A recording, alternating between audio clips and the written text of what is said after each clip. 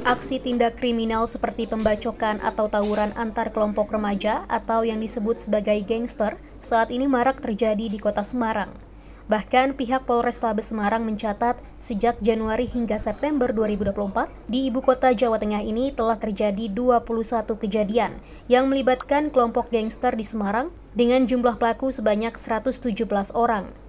Kapolrestabes Semarang, Komisaris Besar Polisi Irwan Anwar usai diskusi permasalahan gangster pada Jumat 20 September menyatakan, maraknya kelompok gangster yang diikuti para remaja bahkan masih berstatus sebagai pelajar ini bukan hanya fenomena kenakalan remaja saja, melainkan sudah tergolong dalam tindak kriminalitas.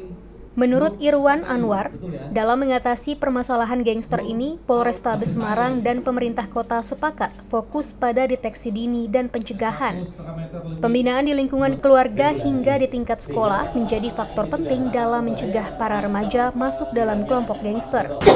Uh, tadi kami sudah sampaikan bahwa ini kan ada dua sisi dalam kacamata kepolisian.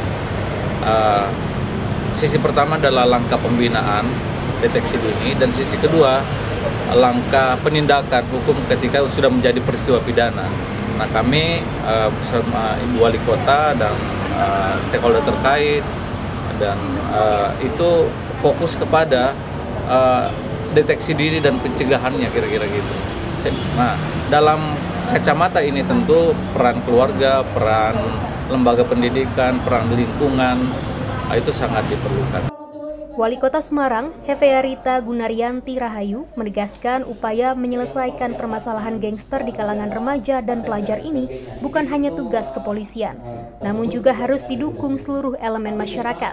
Ya ini yang diharapkan adalah tadi tidak hanya kepolisian saja yang terlibat karena uh, Polres ini kan terbatas anggotanya seberapa gitu ya. Kemudian satu kelurahan Babinsa Babin Kaptipmasnya satu ditambah ada Babinsa ya ini ya pasti harus uh, seluruh masyarakat ini harus uh, se apa uh, saling saling uh, mengawal, saling untuk membuat bagaimana anak-anak ini tidak menjadi seperti tadi.